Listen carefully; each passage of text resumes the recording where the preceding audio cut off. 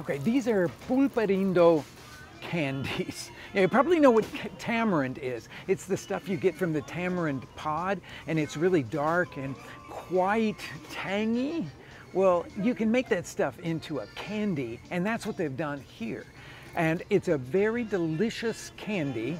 They come, it comes in lots of different flavors. They add other flavors to it, but I always choose the original one because I like that tanginess of the tamarind.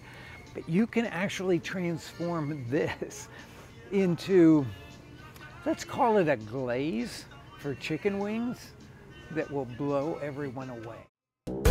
First thing we're gonna do is to season and roast these chicken wings. I'm using the drumettes here and I have Mexican hot sauce, equal portions with melted butter. I'm using Tamazula. You just scrape the hot sauce in with the butter, stir that until it comes together.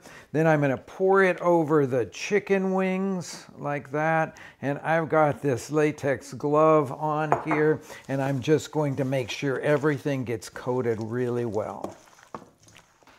Then they're gonna go on to a rimmed baking sheet lined with foil and into a 450 degree oven for 30 minutes. I'm gonna, I'm gonna turn them halfway through.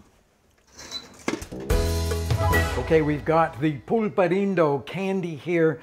The ones I got were the little tiny ones, so I need 12 of these to make the six ounces that I'm looking for, but you may find the ones that are in three ounce or six ounce. I'm going to add to that a half a teaspoon of salt and then a couple of chipotle chilies out of the can, just straight out of the can. This will be smoky and spicy.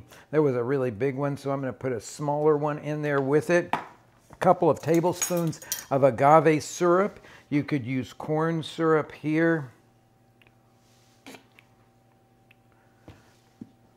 And then garlic is going to go in. You need four big cloves.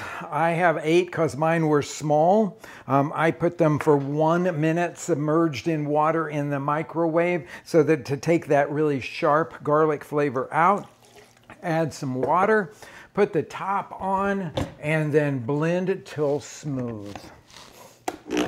Takes a couple minutes for that to go and it's pretty noisy at the beginning. Let's take a look at these roasting chicken wings. Beautiful. Next step here is to put this tamarind glaze on them. Uh, so I've got a brush to do that with. Look at this beautiful stuff here. And just coat them all very well.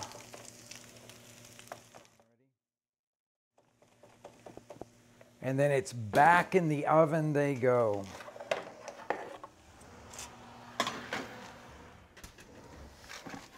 Wow. Look at these beauties right here. All glazed and little char bits on some of them. I'm gonna lay them out here on this beautiful plate. Get ready to serve.